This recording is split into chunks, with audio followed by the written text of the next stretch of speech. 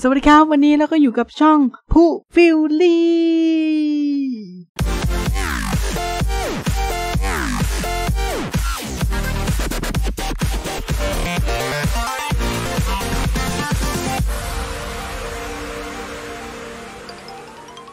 วันนี้นะครับก็เป็นคลิปที่เท่าไหร่ไม่รู้แล้วนะครับผม แต่คลิปนี้จะมาขอท้าทุกคนเลยนะ ถ้าคลิปนี้มีคนกด Subscribe ถึง 10,000 คน ผมจะเปลี่ยนสีผมตัวละครแชมเปี้ยนตัวนี้ครับผม แต่ขอภายใน 7 วันเท่านั้นนะ อืม จะเอาสีอะไรดีอะสีส้มเหรอ สีเหลือง สีฟ้า มันดูสีธรรมดาธรรมดาไปอะงั้นเอาเป็นว่า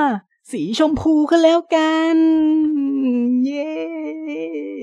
ส่วนสีผมตัวละครแชมเปี้ยนของผมจะเป็นสีชมพูแบบไหน ก็อย่าลืมกด subscribe และกดไลค์และอย่าลืมกดกระดิ่งนะครับ เวลามีคลิปใหม่ๆ และมีการไลฟ์สตรีมก็จะมีการแจ้งเตือนแล้วก็เด้งเข้าฟีดหน้า YouTube ของคุณนะครับผมสำหรับวันนี้ก็บ๊ายบายครับ